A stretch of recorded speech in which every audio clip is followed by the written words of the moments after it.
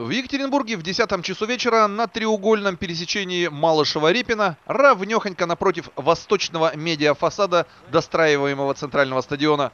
Бэха третьей серии «17 мгновений весны» а нет, просто третьей серии, не вписалась в поворот и левым, читай водительским боком, вписалась в столб, который, как богатырский камень, стоял в точке трифуркации и на языке знаков объяснял всем приближающимся автопилотам протокол поведения. Ну типа, налево пойдешь, кирпич на башку упадет.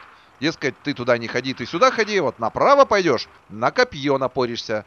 Ну а прямо поедешь. Об этом знаки свыше ничего не сообщали. Потому молодой пилот бумера, обогреваемый с места смертника своей любимкой, решил попробовать неизвестности. Ну, право слово, налево ему зачем, если он свою любит?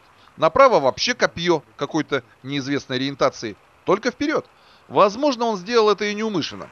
Судя по следам на трассе, Водитель недостаточно жестко вписался в поворот на Малышева, после которого Бэху понесло навстречку. Ну и чтобы избежать лобового столкновения, пилот баварского болида стал отруливать на свою, но траектории не хватило, и он боком зацепил столб со знаками. А поребрик прокорябал левый порог и перфорировал оба два левых колеса.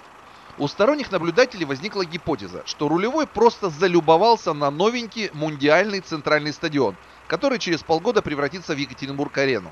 Но, судя по 96-м номерам Бэхи, парочка в подорожнике ехала местная. И вряд ли в Екатеринбурге еще остались люди, которые не видели новый ЦС. И при встрече с ним сказали бы «Вах!» и сбились с курса. Наверное, все-таки просто скользко.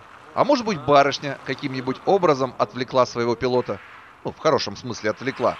Да, материальный урон на лицо. Не о таком новогоднем подарке наверняка мечтал Бэховод, но зато оба живы, ну а все остальное лечится.